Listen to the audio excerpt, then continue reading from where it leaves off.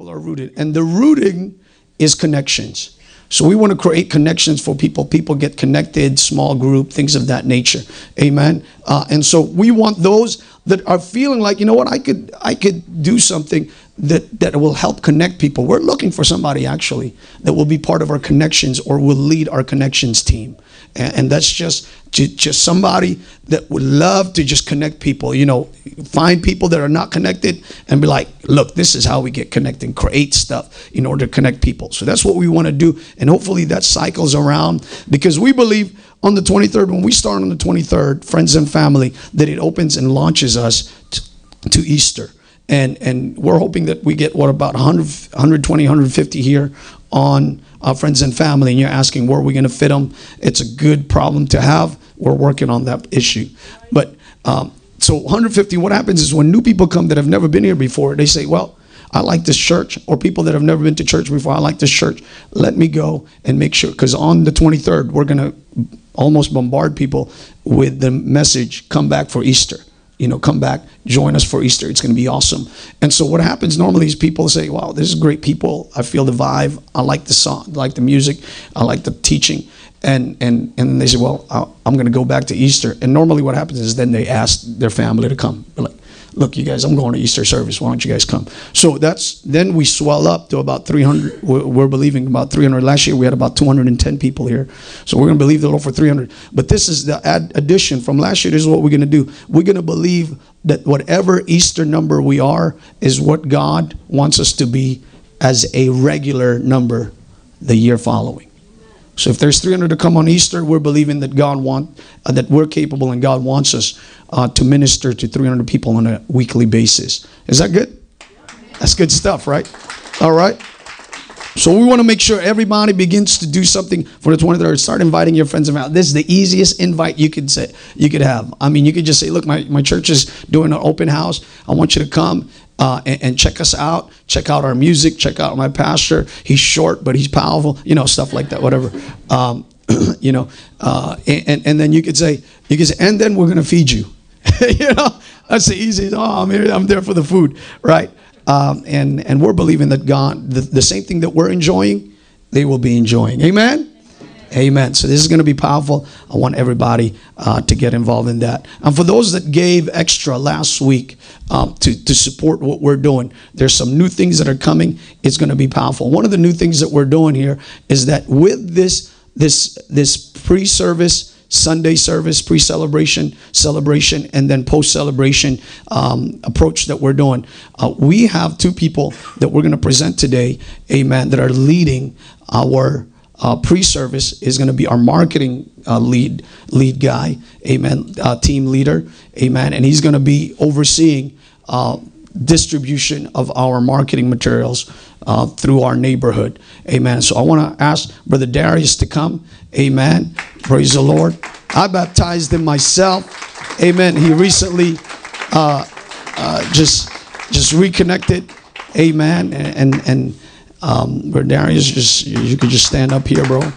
Yeah, I love seeing new leaders come up, man. That's that's exciting stuff.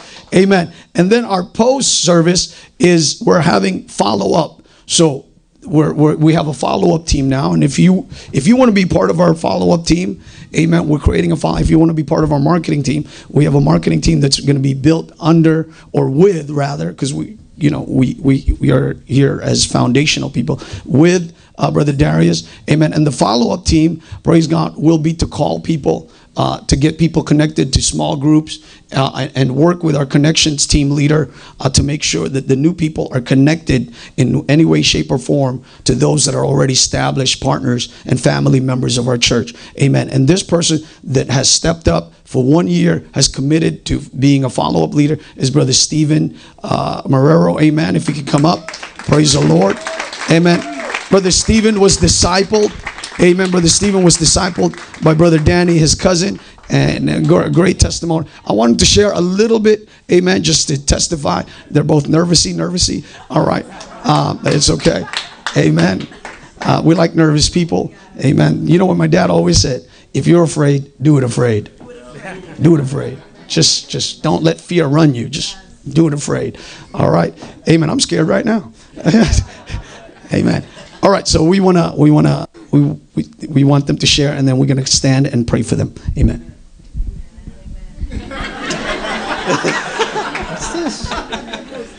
Amen.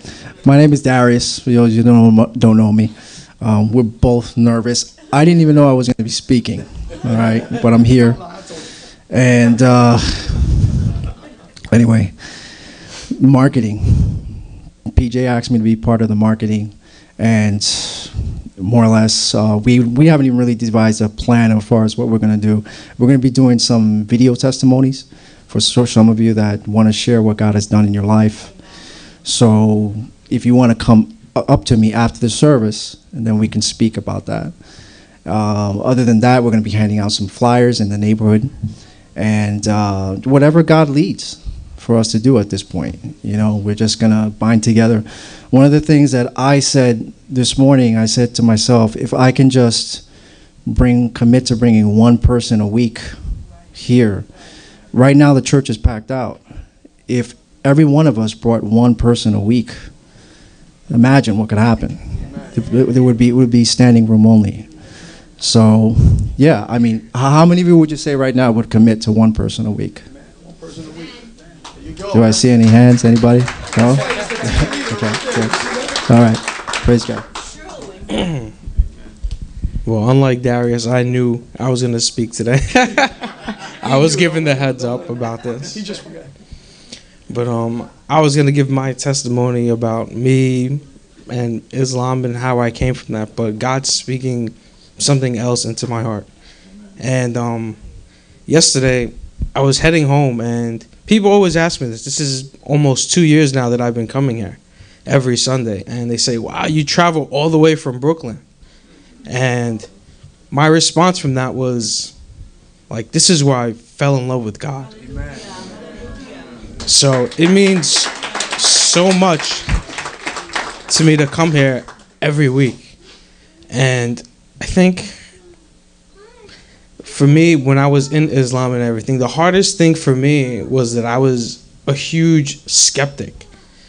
I was always questioning things, and part of my major in life is like science, so that's what I do. And I was always kind of questioning things. And it blinded me from God. It blinded me from his glory and not and not walking with the Lord, not walking with Jesus, not choosing Jesus. And I can stand here and I can just talk, but I would say to anybody to just come to prayer service to talk to God. Come to Bible study to actually hear his word. And through all these things that God puts us through, all you can ask for is just for you not to be blinded, for you to be able to hear his word through those times. And I just I'm just so glad to be here and I thank Jesus every single day that I'm here. Let's all stand, church. We're going to pray for these guys. Amen. Listen, there's a lot of areas to serve in our church. We are, are making it that whatever your passion is, you can serve God.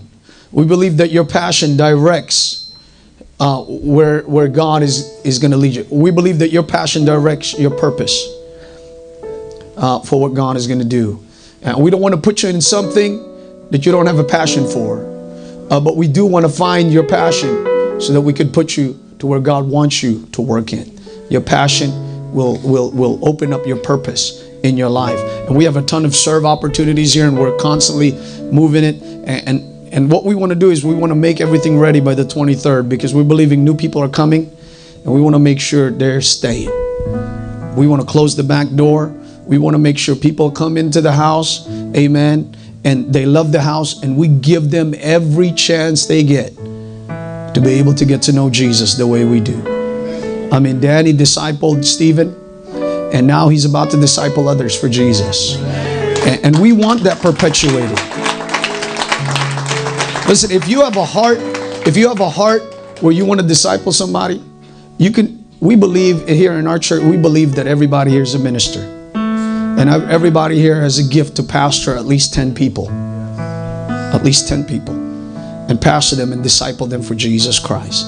And see their lives turn over we, we believe that, and we're creating serve opportunities and, and looking for um, small group leaders so that Steven here can help connect them to you and to your group and root them into the things of God. Amen. So the work of Darius will hand over to Steven and it will not go uh, uh, into void, but it will do what it was, it was intended to do.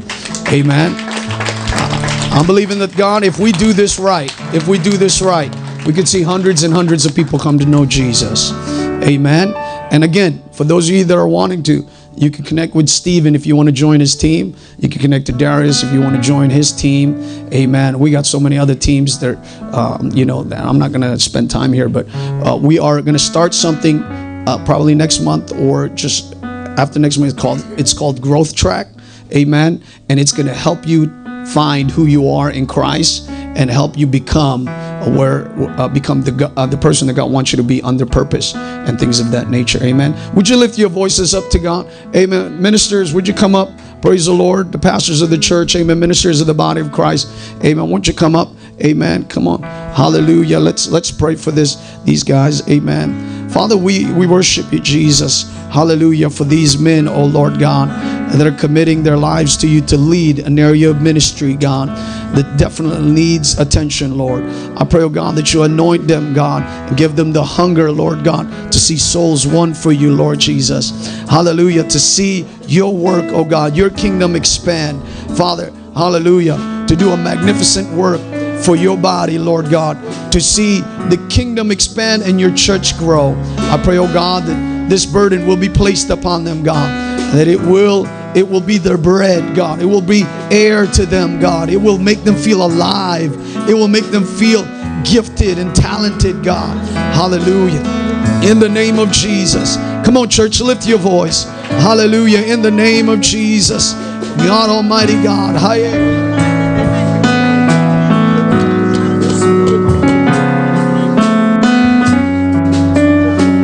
Thank you, Jesus. Thank you, Lord. Thank you, Lord. Thank you, Lord.